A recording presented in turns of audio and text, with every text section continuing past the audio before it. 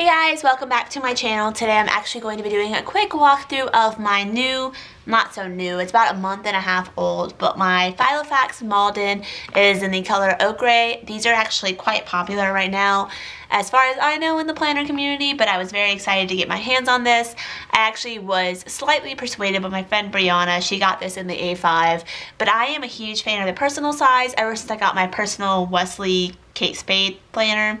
I ended up using that as a wallet with like slight lists and all like small calendars in this and I just love it for on the go like quickly jotting stuff down. Of course give me my like wallet stuff in here and just quick little list I guess if that makes sense. You'll kind of see what I mean by all that when I open it up and let you get into it so we're just gonna go right into that. So in the beginning I have over here some cards. I have a gift card. I have my Costco card. I have a driver's license and my debit card. I have some more cards right down here that I'm not really going to show, but I just have extra. There's only four card slots, but there is a bigger pocket back here where I keep like cash sometimes. And then I have like anything that's majorly important that needs to be given to someone, anything of that sort. I do have a Kate, Spade uh, bow clip right here that I I got two of these and I gave one to my friend Becca, but then I have one more right there. I do keep a little bit of change in here just for like vending machines at work. I have a little zippered Filofax pocket, which was outrageously expensive on Amazon. I paid $8 for this. Definitely not worth it. I would look for something cheaper if I was trying again, but I just have some small little icon stickers. I don't decorate this very much, but I do like to keep icon stickers just because it makes it look a little bit cuter, and I made these myself, so I have a couple different colors in there, and I also have an old Starbucks gift card just to cut any washi if I do decide to decorate it. On the front here, I have two little paper clips or um, magnet clips from what is it, the Crafted Van. They're two little sea otters. I love sea otters and I also think they're really cute because they look like they're holding hands if you put them together and I just love sea otters. One of the first like major dates my boyfriend and I went on when we first started dating was to the aquarium and so just sea otters are awesome. And I have a sticky note here. I'm actually moving, so it's a lot of details of moving, so I don't want to show you that. And then I get into uh, daily sheets. These are all my inserts for the most part are from So Much Crafting unless I tell you specifically otherwise, but most of them are. Her paper quality is the best. I have a couple of these. I haven't really been using them recently, but I got a couple just for different days when I wanted to do like an extra when I really wanted to sit down and divide up a certain day. So there's a couple in here. I have one from like a planner meetup in November, so just different days. So I have a couple of those in here. Like I said, I don't use them that much. Mostly if I want to really divide up my day, I use my day designer. I also have a simplified planner that I have from last year that goes until July. So I have both of those as options as well if I really want to divide up my day, but it's nice to have these in there. I also have weekly routine inserts from So Much Crafting. I plan to start using these, especially as I'm starting to work out and do all that fun stuff more. I just got these in last week, so I haven't really set them up yet, but I do like having those. And then I go into weekly inserts. These are from Webster's Pages. I got them off of Blitsy back on Black Friday and it took like a month and a half to get here. It was insane, so I definitely do not recommend ordering from there. But I do like having these the paper quality is noticeably worse than So Much Crafting. I really wish I had ordered her inserts instead. They probably would have gotten here quicker and the paper quality would be a lot better. But I do have these and I plan on using them. I have, just so you can see my little dividers here, I got these from Whimsy Kim, I want to say. I'll link her Etsy shop down below. I love the quality of these. They got here super quick. They're all laminated. They're super cute patterns. They're also double-sided with different patterns, which I don't know if a lot of shops do that, but she did, and I love it. She also threw in extras, like this, for instance, this uh, little bookmark here and I love this. I don't think she sells these individually on her shop. I wish she did, but I definitely plan on or ordering more dividers from her and I really hope I get another one. But just so you see overall, I have gotten into decorating the week on two pages, but it's not as in-depth as I really like to go. I like to really split up my day in my Erin Condren or my Inkwell. So it's, it is the important stuff, but it's not enough. It's not enough space for me. Also, as far as the weekly stuff, it's just not enough room. It's like five things that I actually have to get done out of the million for the entire week. So that's the only problem I'm running into as far as the personal size. Um, this is this week. I have a couple things to do. This is actually from the notepad in the back from the Filofax, just lined paper. Again, it's not as good quality as So Much Crafting. I prefer her paper, but it's nice to be able to have a notepad, rip it off, and put it in. It's already punched, so I like that.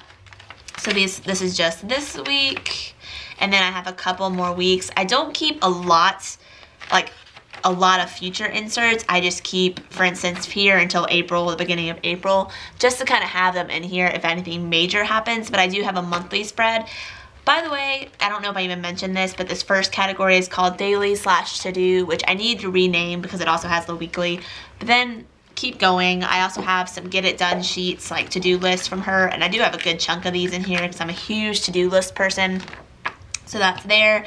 My next section is called monthly and then I jump right into it. I do have, I'm not going to show you that, but it is a to-do list for January that I have in here. And then this is my January monthly spread. As you can see, no decorating, no stickers, nothing. I use a highlighting system, which is really old school for me. I haven't done highlighting since like high school, but um, I do use that and it works really well. I just have small little important things that are going on. I have a couple covered up, so I'm sorry about that. And then I have my little file Filofax bookmark that came with my Malden. So then I also have February filled out to a good point. I have like, over here in the sidebar, I keep anything major. Like I have an Old Navy coupon I really want to use, and it's from February 4th to the 10th, so I made a note to use that. I have like bill due days. I have my birthday on here. I have major meeting that I have going on that day, and then I have a day that I have to turn in my keys at my apartment. So just important stuff. I have another Crafted Van little bookmark. This one is a snowman. I never got around to use it during the holidays, so it's just hanging out here. And then behind that, I actually have monthly, I don't know what she calls these, I wish I remembered the name, but it's like each day has a line for the month. And I really like to use these to plan out my YouTube videos or anything majorly important that's gonna take up the entire day. So I like having these as well, just to kind of have a different way of seeing things. I also put people's birthdays on here. February is not filled out yet, but it will be soon.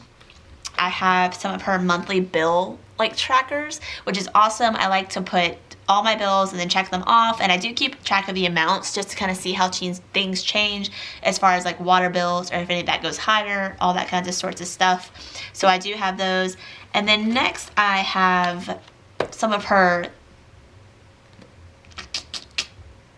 I think I want to call these like check register inserts. I like to use these just to keep track of what I'm spending because I'm trying to get that a, a handle on my spending and kind of know where my money is going. So I do have these. I'm not going to show you the filled out ones, so there's a couple in front of this, but I do really like these and I'm honestly about to order some more. Next, I have some of the saving trackers, which are awesome as well. I really like her financial inserts. And then I also have some debt repayment plans, which are going to be used for like student loans and that kind of sort of stuff. So next, I have my little Sara plans category, which I like to put anything YouTube related or like planning related in here. So the first page is actually coupon codes that I have from Etsy shops. So I have like a Pretty on Paper Co coupon, I have a Planner Wonderland coupon, I have a Parade coupon, I have an Oh Hello coupon, Whimsical Plans. Well, that's one that I got on a package, and then Little Miss Papery. So I try to keep track of all those right there. I have a little list of stickers that I want to make myself just so that I have an idea just to make them for myself. I don't have an Etsy shop or anything but I do like to make myself stickers when an idea pops in. And then behind that I do have some of her address keep book type inserts and I do have some ahead of here just for like friends that I've made in the planning community or people that I like to send packages to. I have all their addresses in here. And the last section is just paper which is not very exciting. I do have some of the so much crafting lined paper as far as well as the craft paper. And then in the back I have some of the Filofax paper that I just use if I'm quickly jotting down a note Behind that, I have the little pocket that comes with all Filofax planners, and it is just the little one that has the pocket at the top. You just slide stuff in. I have two little samplers from different sticker shops that I shoved in here, and I also have a receipt that I need to take back because I have a coupon that I didn't use. You guys know how that is. And then in the back, there's actually a little notepad that I've becoming quite a fan of and you just rip it off and put it in. Right here I just had a phone call that I need to write stuff down on so I just took my little pen. I keep a Staedtler in here normally. It got lost when I was on the phone but normally there is a pen here so I just pop it out write a note and then I can stick it into my Filofax. So that was a really quick, very, probably not very interesting video, but this is my current setup of my Malden that I'm completely in love with. Again, I love using this just to quickly take notes if I'm out and about or if I need to write something down if I'm at work and something comes up or that sort of thing. So I really like how this is working for me. I think it houses all the important information.